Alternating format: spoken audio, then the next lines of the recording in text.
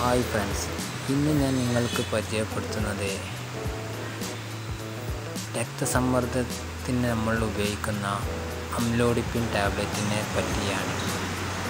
Calcium channel ബ്ലോക്കറുകൾ എന്നറിയപ്പെടുന്ന ഒരു കൂട്ടം മരുന്നുകളിൽ പെടുന്നതാണ് അംലോഡിപ്പിൻ.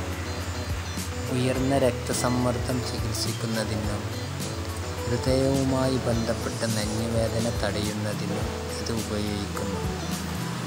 ഇത് രക്തസമ്മർദ്ദം കുറയ്ക്കുകയും ഹൃദയത്തിന്റെ ജോലിഭാരം കുറയ്ക്കുകയും ചെയ്യുന്നു.